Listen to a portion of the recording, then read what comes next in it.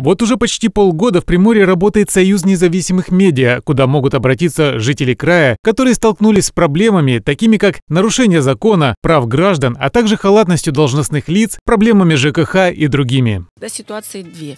Есть либо люди, которые вообще не знают, что делать, и они никуда не обращались. А есть э, те, которые обращались везде, писали везде, у них есть официальные ответы, и они говорят, вы наша последняя надежда. Еженедельно в Союз поступает от 5 до 10 обращений. Журналисты СНМ откликаются на каждое из них. Есть просто такие вопросы, которые не решались десятилетиями.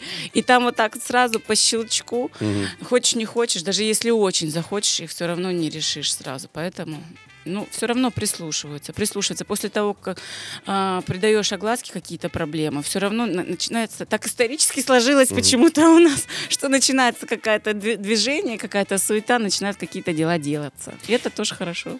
СНМ взаимодействует и с государственными, и с частными предприятиями. Все для поиска ответа и решения проблемы, с которой обратились жители. Есть взаимодействие со всеми. Ну, может быть, не сразу все идут, и не по всем вопросам, но навстречу всегда идут, всегда помогают, всегда разъясняют. И если, если какие-то вопросы возникают, там, они говорят, ну да, ребята, извините, но нам нужен от вас официальный запрос. Мы говорим, да не проблема, мы напишем, как скажете, так и сделаем, и тогда ну, через официальный запрос, но вопрос тоже решается.